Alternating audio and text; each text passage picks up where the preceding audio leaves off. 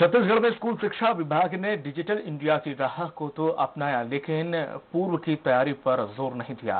फलस्वरूप, पहले से ही दसवीं तक की सभी किताबों में लगे क्यूआर कोड स्कैनिंग नहीं हो रहे हैं। आपको बता दें कि क्यूआर कोड छापने का काम पाठ्य पुस्तक निगम को दिया गया था, जो समय पर पूरा नहीं हो गया। और लेकिन जो साथ ही साथ मटेरियल तैयार करने में एनसीईआरटी कामयाब रही नहीं रही और लिहाजा लाखों जो पुस्तक बांट दिए जाने के बाद स्कैनिंग उनकी नहीं हो पा रही है। इस मुद्दे पर स्वराज संवाददाता सत्या राजपूत ने समग्र शिक्षा संचालक पी दयानंद से खास बातचीत की। डिजिटल इंडिया की राह पर चलते हुए बेसिक शिक्षा विभाग ने एक अभिनव पहल की है। जिसमें कक्षा एक से दसवीं तक की बुक में क्यू आर कोड लगाया गया है। जिसको किस तरह से यूज़ करना है, क्या उसकी महत्ता, ये तमाम जानकारी के साथ हमारे साथ पी दयानंद सर हैं, जो ज़्यादा जानकारी के साथ हैं हमारे साथ, उनसे जानते हैं। सर, क्या इसको एक अभिनव पहल के रूप में देखें, क्या एक प्रस्ताव के लिए? निश्चित रूप से जो भी डिजिटल क्रांति है उसमें हमारे छत्तीसगढ़ के जो सरकारी स्कूल्स हैं, उन स्कूल्स में कक्षा एक से दस तक के सही बच्चों की पुस्तकों को, क्यूआर कोड अंकित किया गया है।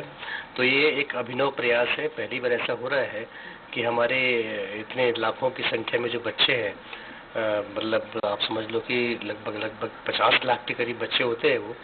पचास लाख बच्चों को हम क्यूआर को डंकन करके और इस अगर हम अपना देखें मोबाइल का जो हमारा कवरेज है, जो कनेक्टिविटी है, जो हर हाथ में पहुँचा है अभी संचार क्रांति के बाद, सो बच्चों के जो कंटेंट हमारे पास किताब में है, उस पुस्तक के अलावा आज के दौर में हर कोई इतना ज़्यादा हाईटेक हो गया है यूज़ कर रहा है चीज़ों को तो इतना सुगम हो गया है ऐसी स्थिति में हर एक चैप्टर के लिए हर एक उसके असेसमेंट वाले पार्ट के लिए भी क्यूआर कोड का अंकन करने के बाद जो छात्र हैं जो छात्र छात्राएँ हैं क्लास में आ, उनको क्लास में जो हमारे क्लास के टीचर्स हैं सब्जेक्ट टीचर्स हैं और इससे भी बढ़ करके खास करके छत्तीसगढ़ के संदर्भ में जब पेरेंट्स जिनको कि घर में जब बच्चे पढ़ते हैं तो अपने मोबाइल फ़ोन से भी उस क्यू आर कोड को स्कैन करके और जो उससे संबंधित मटेरियल है वो चाहे वो ऑडियो है वीडियो है एनिमेशन वगैरह है उनके माध्यम से जो विषय है, जो संदर्भ है, जो अवधारणाएँ हैं,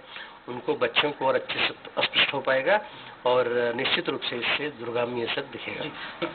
अभी आपने सुना समग्र शिक्षा संचालक पी दयानंद जी को, जिनका साफ़ साफ़ कहना है कि ये जो बातें हो रही है, ये सिर्फ़ एक अफवाह है। वो अपने ओर से पूर्ण तैयारी कर चुके हैं, प्रशिक्षण की, के लिए टीचरों को बुलाया गया है, उनको प्रशिक्षण दी जा रही है। इस तरह जो ये क्यू आर कोड का जो अभिनव पहल है, उसको अंजाम दिया जा रहा है। कैमरा में जगह के साथ सत्या राजपूत स्वराज एक्सप्रेस रायपुर।